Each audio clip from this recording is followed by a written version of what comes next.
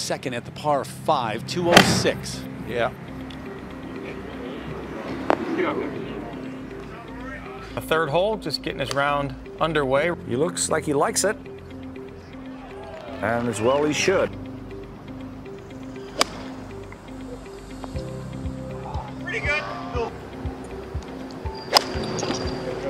Car here a few years ago. Yes, I vividly remember that. His reaction.